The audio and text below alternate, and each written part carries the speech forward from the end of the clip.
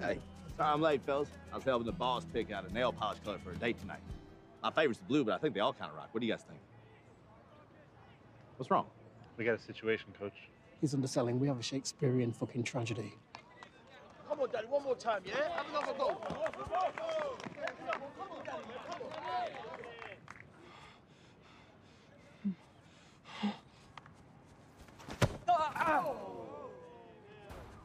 Merezco todo lo que me está pasando, Dios. That means he missed. All of them? Oh, boy. Okay. Hey, Dani! Come on, son. Let's take a walk. Wow, we're watching the end of someone's career. Not now, Jan. Sorry, coach. No, no need to apologize. Dani, what happened between you and Earl, that wasn't your fault. You know, you suffered an unlikely and tragic coincidence. Not too dissimilar from those seen throughout Paul Thomas Anderson's 1999 opus Magnolia.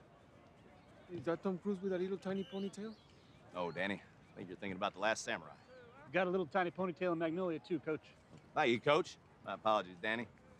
Tom Cruise is rocking a little tiny ponytail in both those films. Okay. Point is, it's a tragic occurrence, all right? One-time thing. So let's get away from the bad mojo coming off that penalty box and, you know, have some fun. Just kick some corners, right? Yeah? Hey, fellas, line up for midnight poutine! Yeah, there you go. Help you get your feel back.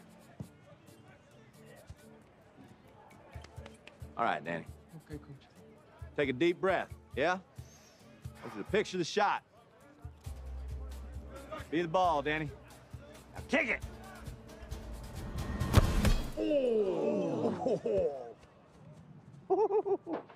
oh boy. That's all right. That's all right.